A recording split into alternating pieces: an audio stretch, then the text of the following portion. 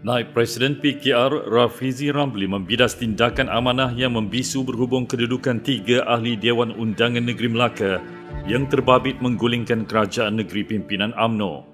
Rafizi mendedahkan individu yang berkeras mahu menerima katak ke dalam kemah Pakatan Harapan adalah Presiden Amanah Muhammad Sabu dan pengurusi Amanah Melaka yang juga bekas Ketua Menteri Adli Zahari.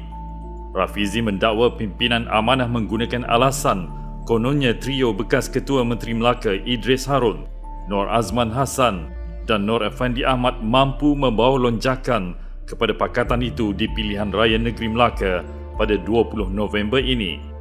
Beliau juga membidas tindakan Muhammad yang lebih dikenali sebagai Mat Sabu yang hanya lincah dalam mesyuarat PH tetapi membisu di luar. Rafizi menegaskan sudah sampai masanya Presiden Amanah dan Pengurusi Amanah Melaka pula cuba meyakinkan pendukung PH bagaimana kemasukan kata-kata politik akan memberi lonjakan yang boleh memenangkan PH di Melaka.